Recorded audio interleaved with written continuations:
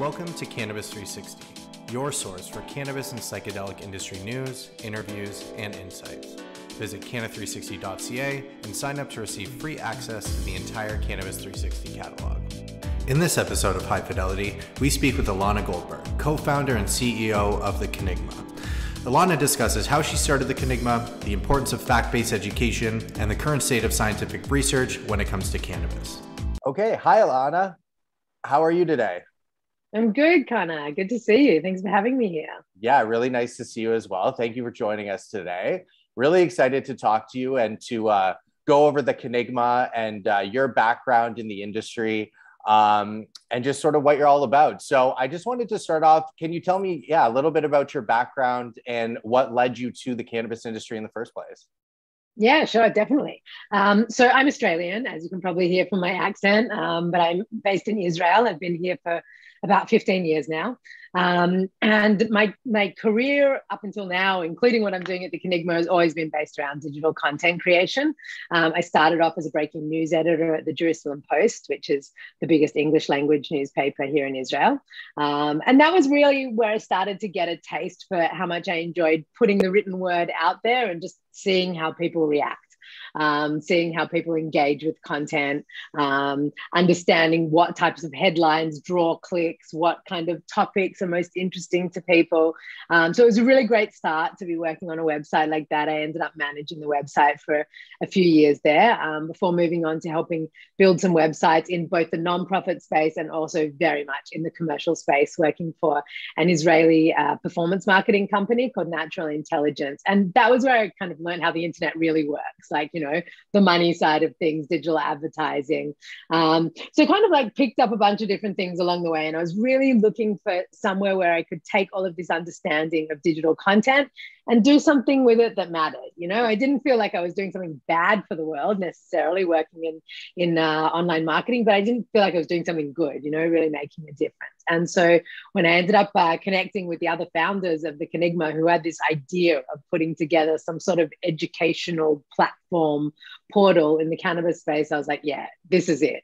Um, so we started off with this idea. Um, basically based on an understanding that there was really questionable uh, information available about cannabis and also obviously understanding that there's more and more kind of new countries new states uh, coming online in the cannabis space whether it's medical or recreational i mean almost every week at this point so understanding this information is going to be relevant and useful to more and more people, kind of uh, seeing that opportunity. Um, so when we started building the site, at first we were thinking really medical. Um, so we started off kind of building out this core um, of like the content library, which is now the Cannigma. And what we understood as we were building it was that doesn't really matter whether you're kind of uh, using it for medical purposes or using it for recreational purposes. If the question you have is something like, I don't know, like, why does cannabis make my eyes red? Right? It's like, this is just what the science says. It doesn't matter what the use case is. And that's really to put aside the fact that I don't really believe there's any such thing as recreational use. I think all cannabis use ends up being uh, therapeutic, if not medicinal, um, in some way. So at that point, with that understanding, we kind of started expanding the scope of the Cannigma to target all patients and consumers um, with this really strong kind of evidence-based science indicated approach um, so that's kind of what the Cannigma is today. It's the go-to uh, site. Well, we, you know, we're building it into being the go-to site for any practical or theoretical cannabis question. Um, users can come to the site and uh, look at articles, listen to podcasts, watch videos. Um, there are a lot of infographics that kind of support the information um, on the site. And uh, yeah, growing the audience every day. We're reaching about half a million uh, people a month all around the world, which is super cool. And uh, yeah, I guess that's kind of the story, more or less. No, I love it. And I want to get to, to to that part that you mentioned, which is sort of all the misinformation that that that mm-hmm. is out there around cannabis. But before that, you mentioned your background in journalism. So, how do you feel that that sort of impacts your approach in terms of the content that you highlight on the Cannigma? Yeah, I mean, I, I, I would even go so far as to say it's not, it doesn't influence my approach. It is um, the approach. You know, it's about bringing information to the mm. public, and a lot of what we do is kind of like I look at it as translating. You know, we're translating the science into language that anyone can understand. And so that approach really kind of um, pulls through our topic selection, the way we review content, the way we even kind of sketch out any content um, that we put up on the site. That we want to, you know, have a clear, unbiased approach.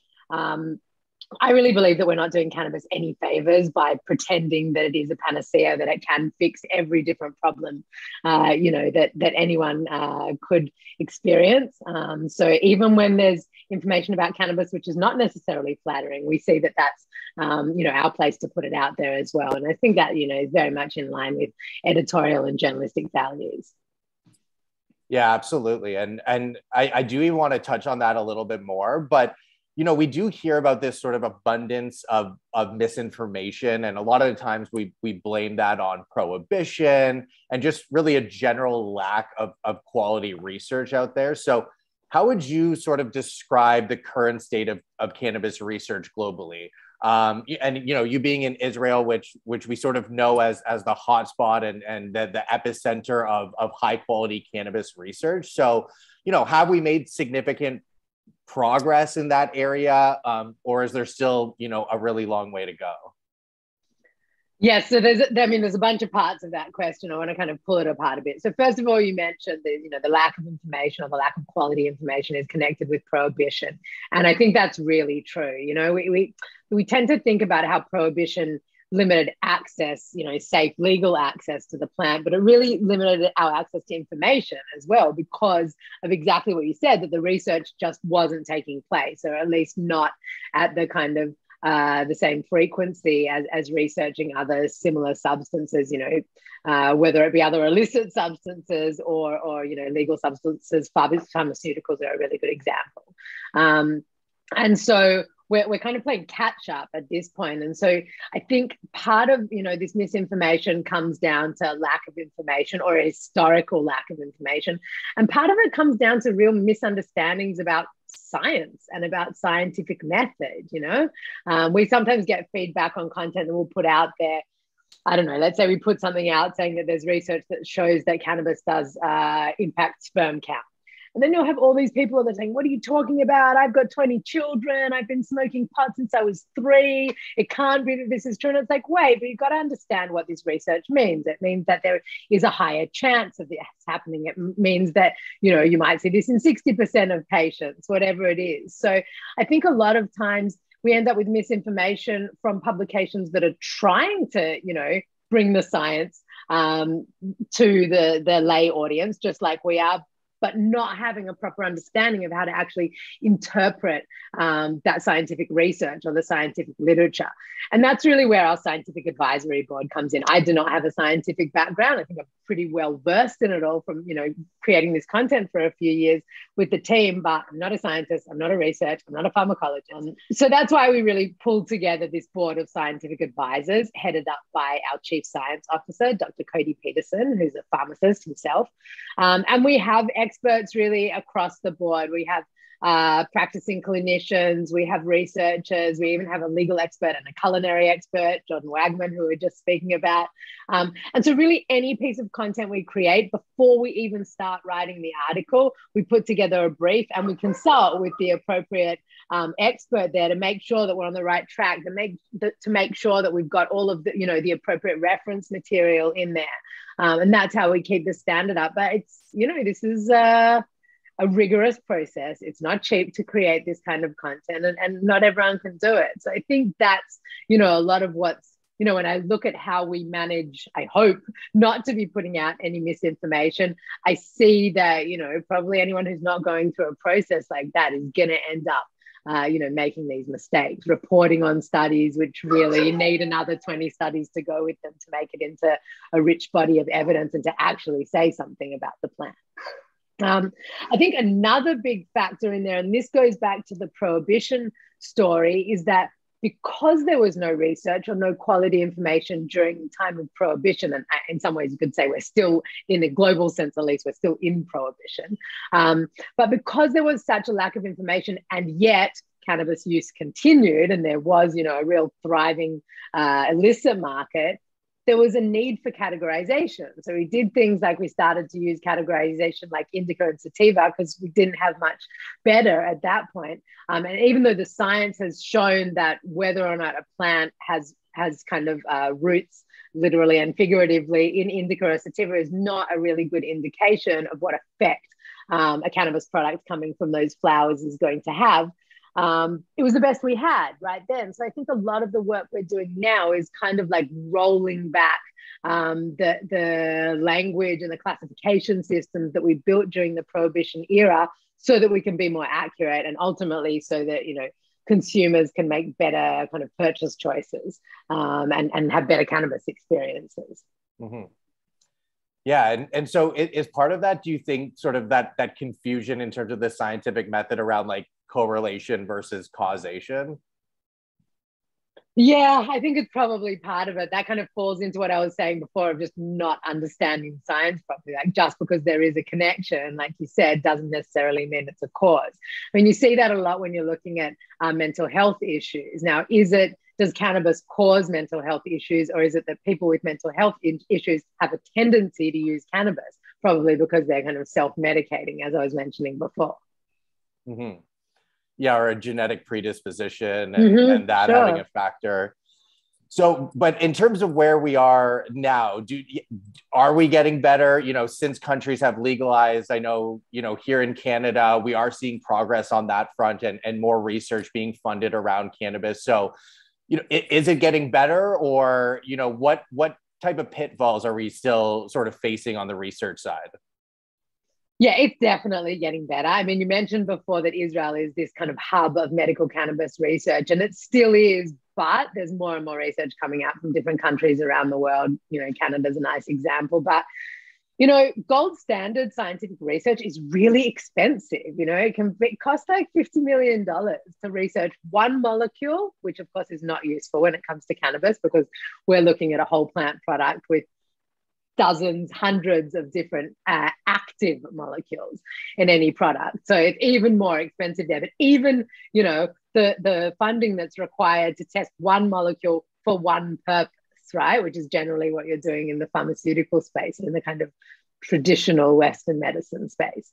Um, so it's really difficult to get the money um, to fund that sort of research, even though we need it. For sure, we need it. If not for kind of uh, adult use or recreational consumption, definitely in the medical space. Um, but it's getting better, and I think a, a, another difference that we see uh, compared to you know as a Another difference that we see apart from just like the amount of research is the type of research that's being done. So we're seeing more and more research which is being done on specific cannabinoids uh, instead of just saying like, you know, we gave this amount of respondents cannabis because what does that even mean, you know? And then also the purpose of the research. You know, the majority of the research that, that was carried out during the prohibition era, era was uh, with the aim of proving how terrible cannabis was and how dangerous and how uh, how unsafe it was. Of course, it wasn't successful um, most of that research, but it means that it was difficult to use the findings there because the purpose of the research was not to you know find out all of the different therapeutic properties of the plant. So that's definitely changing. And in terms of the kind of product classification and naming systems, we're getting there. Um, I'm seeing a trend that's kind of moving towards uh, what I would call sensation based naming. So, like, you know, this is focus, it's for uplifting, it's for relaxation. And that's really what consumers need to know, you know, like, what is this going to do to me?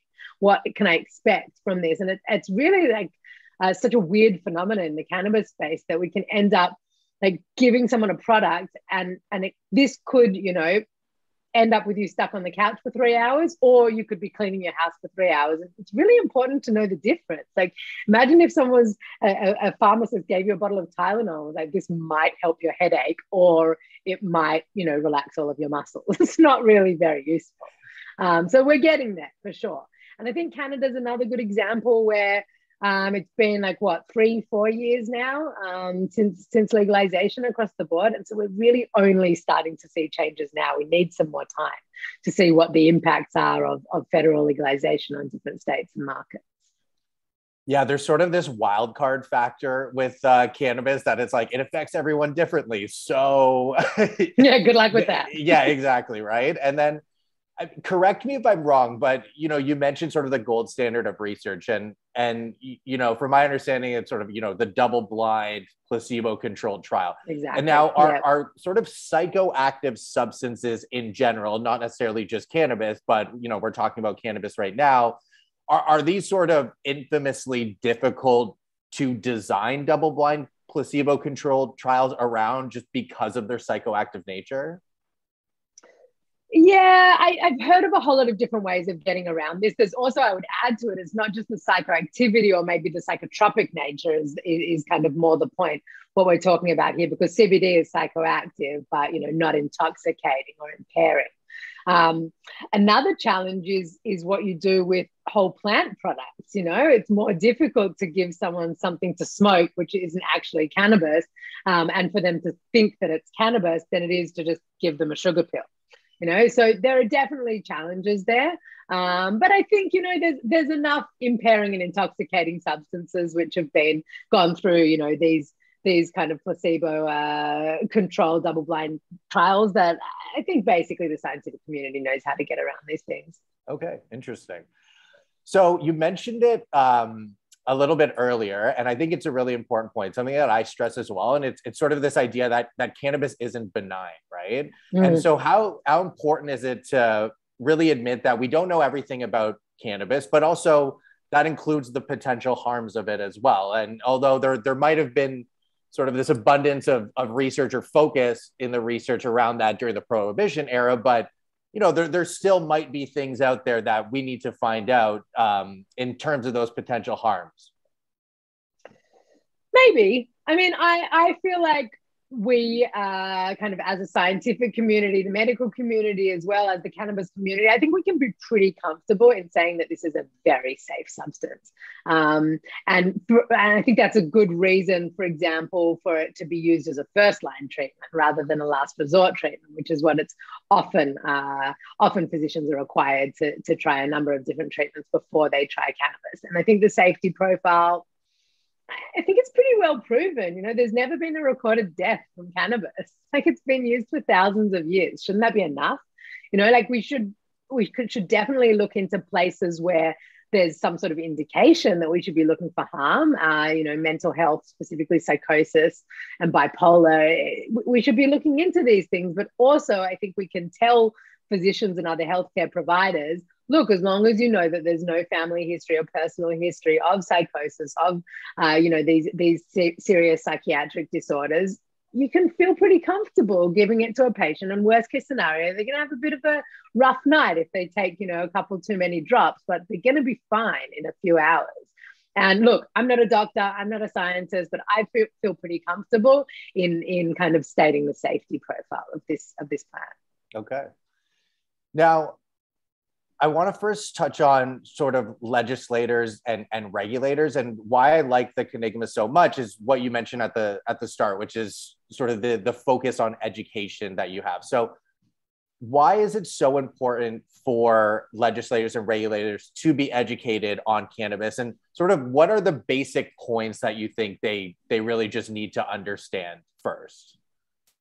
Great question. So I mean, I think it's pretty obvious why it's so important. These are the people that are going to be making the laws, which are going to end up being implemented and becoming, uh, you know, cannabis programs in whatever shape and form. And the more misinformation there is amongst the people making these laws, the more we're going to end up with, you know, various different problematic systems that we can see around the world, which you know started off with the best of intentions but can't be implemented in such a way that it allows access to the plant to the people who need it or want it for that uh, matter.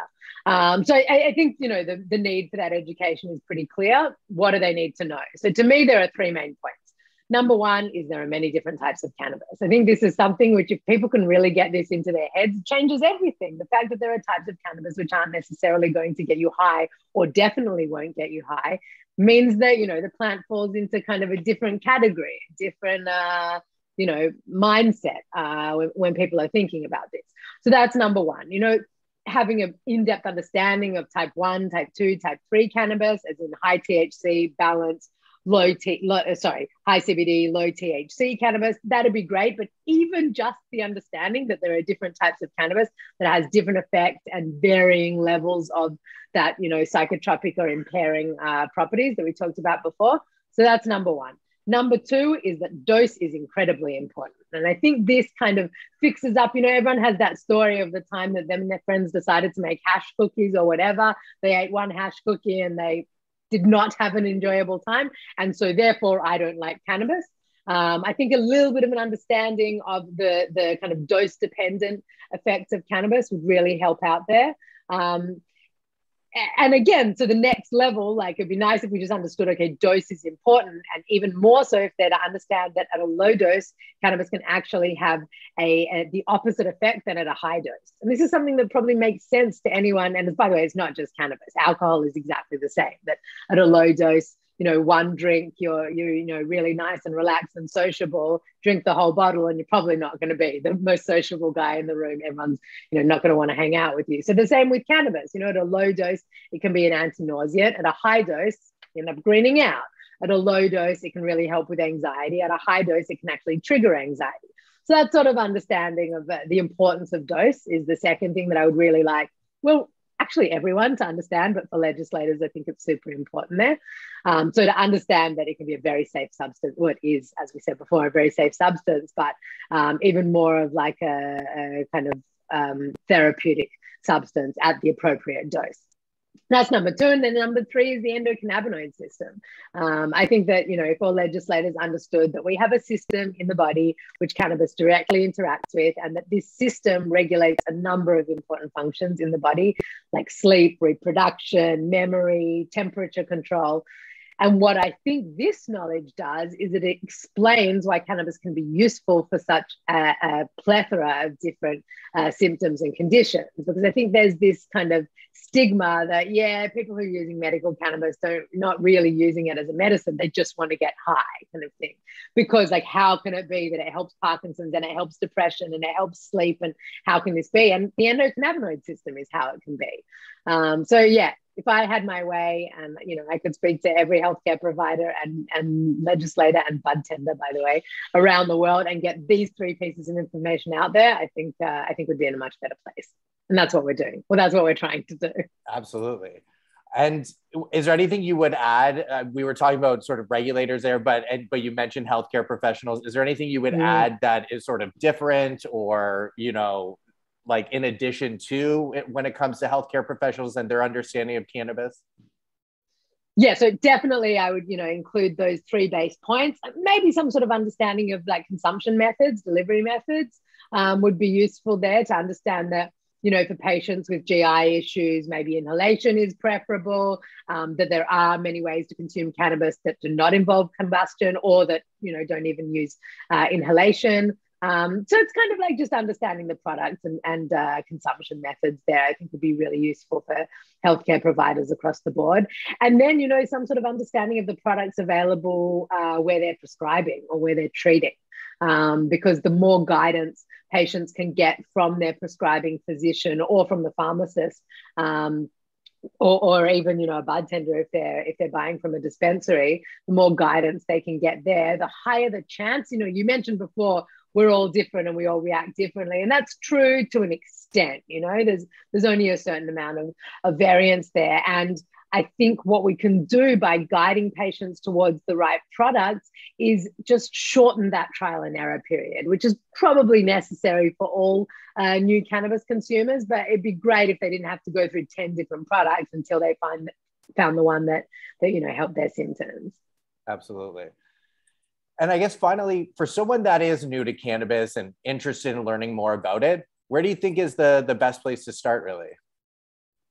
Well, the Cannigma, obviously. Um, so that's cannigma.com. Uh, we've got a few guides there which are really geared towards um, beginning cannabis users, often going over those exact points that we just went through. Um, there's some videos as well. You can check out our YouTube channel. Um, but basically, I would say um, it's worth speaking to a consultant, some sort of, you know, whether it's a, a doctor or a nurse or a, many different cannabis consultants, you can just Google it. Um, but you don't have to. I think, you know, if, if, you're the type of person that does like doing your own research, like a bit of an autodidact, I think, you know, a few hours of online research and you can go and start, you know, trying uh, cannabis products and see what works for you. Um, definitely just remember start low and go slow. I think that's the key for any new user. Like, worst case scenario, you're going to be still suffering with a symptom today because you took too low a dose, but you can always take more. It's pretty difficult to take less once you've already done that always sage advice absolutely. And yeah. uh, any anything new and exciting happening over at the Cannigma i know you guys are always working on you know cool interesting new new projects. So so anything that um that you can give a shout out to here that that you guys have going on? Yeah definitely. So uh, we just launched our cannabis cookbook uh, in collaboration with chef jordan wagman. Um, so that's available on the website bunch of different places. You shouldn't have a problem finding it there. Um, it's filled with basic recipes uh, for anyone kind of wanting to start off in the kitchen. Um, and then some really fun things like cannabis cocktails, a lot of sweets. Uh, there's a lot of stuff in there, and, and it's quite beautiful, if I don't say so myself. So that's a free download. Anyone can go get that.